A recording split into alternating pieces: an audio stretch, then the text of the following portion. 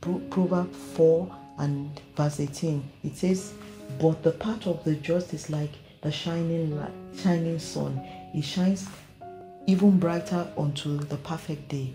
That is, if you are the just, the one who walks in righteousness, your path will continue to shine from glory to glory. As long as you are righteous and doing the word of God, the Bible calls such a person just. He said, It shall be from glory to glory. He said, Your path will get better and better. So don't be moved at where you are today. You keep doing the will of God, keep being a just man, be righteous in your ways, and it shall be from glory to glory.